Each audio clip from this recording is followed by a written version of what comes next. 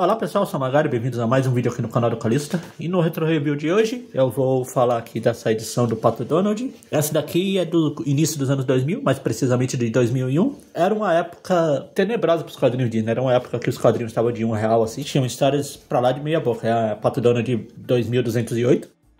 Não só a qualidade da revista estava muito ruim, mas eu posso dizer muito ruim mesmo, como a própria seleção de histórias também. Era um período bem negro para os quadrinhos Disney, um pouco antes daquela tentativa de retomada que aconteceu mais ou menos em 2003, ali, com a coleção do Barks vindo por aí, aquela enxurrada de lançamentos, até o final de 2018 mesmo, mas falar que é meia boca é, é um elogio, é bem abaixo. E tem essa história aqui do Rei das Selvas, que é o Donald indo assistir um filme do Tarzan, na verdade o Zarzan, que é um nome que eles usam zoando várias vezes. Já, eu lembro de Barzan, Parzan, etc. Tem várias histórias. Até aqui é Zarzan. Acho que acabou a letra do alfabeto. Ele chegará ao Z. Enfim, só que aí, enquanto ele tá assistindo esse filme, ele encontra um cara que vive exatamente como o Barzan, o Zarzan. Enfim, é uma história também, como eu falei, bem. Aliás, vocês viram aqui que uma coisa ruim de comprar coisa no sebo é isso aqui, ó. A revista às vezes vem cortada, porque é o, a pessoa que, que teve a revista anterior, sei lá, o que tinha na cabeça, ou era só criança mesmo que não, não ligava para os quadrinhos e resolveu cortar tudo aqui. Mas enfim, história marromeno. Tem do Stress também, que também é história marromeno. Na verdade, eu posso pegar esse meu áudio falando que é uma história marromeno e repetir para todas elas. Que a revista como um todo é mais marromeno. Tanto que esse vídeo aqui vai ficar bem curtinho, porque não tem muita nem curiosidade para falar sobre a revista.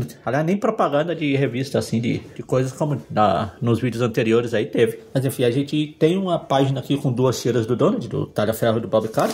É uma coisa que ele sempre publicava aleatoriamente. Aqui, o espaço do leitor. Eu, no vídeo passado, falei sobre a... o nome da sessão de carta, eu elogiei. E nessa época aqui é tão tenebrosa que até o sessão de carta, eles resolveram deixar meia boca, porque né, se vocês lembram, a sessão de carta do Donald era abrindo o bico. E aqui virou espaço do leitor. Bem genérico. Tinha uns desenhos aqui, mas mesmo assim, era uma revista bem genérica. Tem aqui os biquinho, a história do biquinho dos do, primos impossíveis. Fujões, na verdade. O eles iam cuidando do biquinho, etc.